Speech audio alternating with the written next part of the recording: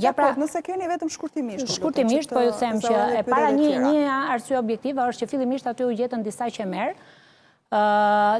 disa mure të vjetër dhe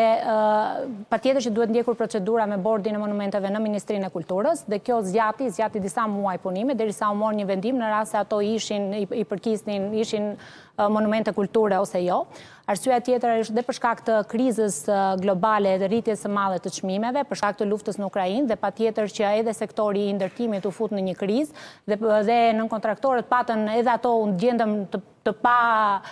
si themi të papërgatitur për shkak të kësaj krize, por patjetër që Fondi Shqiptar i Zhvillimit si enti prokurues i kësaj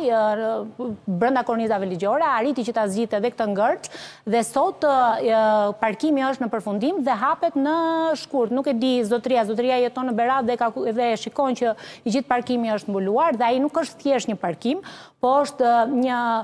qendër multifunksionale sepse nuk do të shërbejë thjesht si parkim, ai është 4.5 metra